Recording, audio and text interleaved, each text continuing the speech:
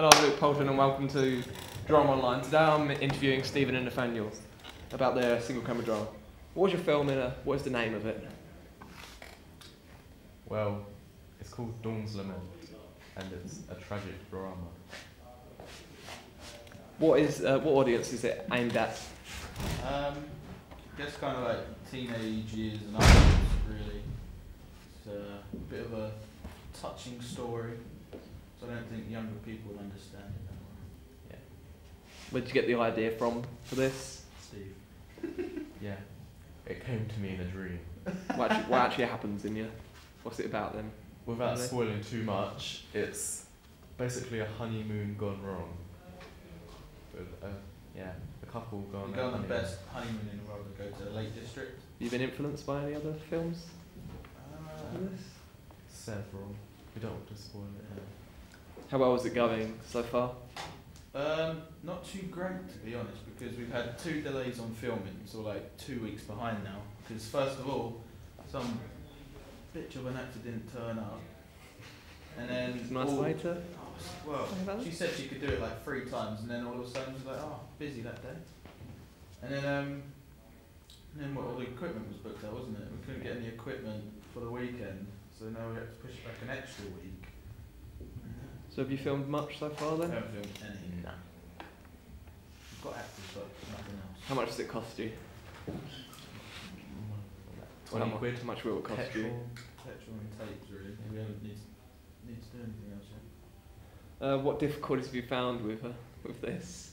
Because I, ca- I can't really. Uh, when you haven't filmed yet, but Well, besides no equipment and no actors, it's been quite yeah. difficult. A, a power cut, losing Yeah. a Word document. Um, what we actually enjoy most when filming this? when we actually get round to film it, I reckon probably the forest scenes are going to be the most fun. Yeah. Because like there's a lot of running and it's quite fast paced. What sort of genre is this then? Because Comedy, or Yeah, a thriller tra- type thing. A isn't it? tragedy, comedy, horror, thriller, Bit of everything. Action. rom com. sounds like you've got a lot of genres in there. It's going to be quite interesting. How did you find the actors? Well, the other two actors that we have are good. And I've seen them act before, but the girl, I've seen her act before, but she just kind of blew us off right at the last minute, like six hours before we going to film. So it's just kind of a Yeah. pain in the ass. Uh, what's going to be the hardest thing when uh, when filming? Getting the final location because uh, we still haven't heard back from them. What are you uh, using for your final location? Well, if we can get hold of a petrol station or just something abandoned, that. Yeah. But uh, been asking around at a few shops nearby where I live, and uh, just out and about. And some of them have said, yeah, maybe just bring us back on this day, that time, and sort of something. Did you storyboard storyboarding for this? And has it helped? We are. We're We actually in the middle of storyboarding because, like, because now we have two extra weeks to do the pre-production. I've just kind of gone back and made up some extra shots and stuff, just to make it a little bit cooler. Is the script going to change much when filming, or do you think you're going to stick to how Um, it is right now? We're going to try and Yeah. stick to it as much as possible. We've kind of done like two scripts, one for a copyright music and one for non-copyright. So then they differ a little bit, and we might have to change a couple of lines of dialogue, but not really. No. Might let them do a bit of improv at some point.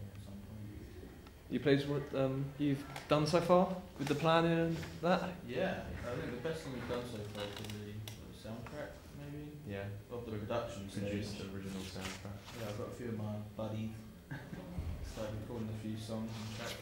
What sort of music is it having on it? Um, it's quite funky, upbeat, acoustic type stuff.